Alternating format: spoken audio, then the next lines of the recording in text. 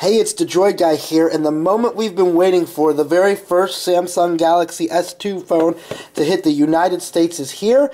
It comes out Friday, and it's the Sprint Epic 4G Touch. It is a Samsung Galaxy S2 device. Look at this beautiful box. The only phone we've waited longer for is the Motorola Droid Bionic that finally hit Verizon last week on September 8th. So September 16th, which is this Friday, and my mom's birthday. Happy birthday, Mom. Uh, you're going to see the Samsung Epic 4G Touch on Sprint. Now, of course, since it's an Epic 4G Touch, you know it has the radios for both CDMA and WiMAX, or 4G as they call it, on Sprint. You're going to see a 4.52 inch Super AMOLED Plus display. Even while we're looking through it through the video camera, it's got a very vibrant display and Netflix runs really well on here, although it's not pre-installed. You're going to notice that TouchWiz is on top of Android 2.3.4. On the back side, you got an 8 megapixel camera with a lot of uh, photo options in the photo options menu. And also there's an LED flash on the camera. On the front we have a 2 megapixel front facing video camera that you can use to chat, video chat using Qik or uh, Google Talk with video chat over 3G or 4G with the Epic Touch 4G.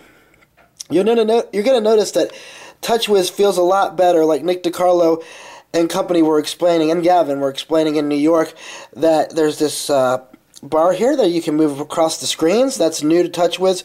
Your drop apps right here, phone, contacts, messaging, and home, and then your, capac- your capacitive touch buttons all the way down here on the bottom.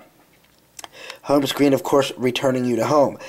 Camera, 8 megapixel like I told you, but you have uh, all the standard Samsung stuff that comes on the camera and um, a couple extra features that are hidden within this menu here. You have editing, self-portrait you can do with the front-facing camera. You can single shot, burst shot. Uh, you've got scene modes, focus modes, and uh, of course a timer that always comes on the Samsung Galaxy uh, series phones. It's the Samsung Galaxy S2. It has a 1.2 gigahertz processor.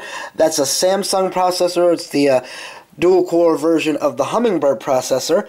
It's going to be $199.99 on a new two year agreement, and it's available this Friday at Sprint stores everywhere. It's the first one out of the gate. We don't have an official date yet for AT&T, and T-Mobile is rumored to take a lot longer, and that's going to have a 1.5 gigahertz processor on it, and it's a Qualcomm chip. So here, the Samsung Galaxy S2. This is just a quick review. We're going to have a much more in-depth review soon, but thanks for watching the Droid Guy. It's the Samsung Samsung Galaxy S2, better known as the Epic 4G Touch on Sprint. Get it Friday for 199. Tell them the Droid Guy sent you.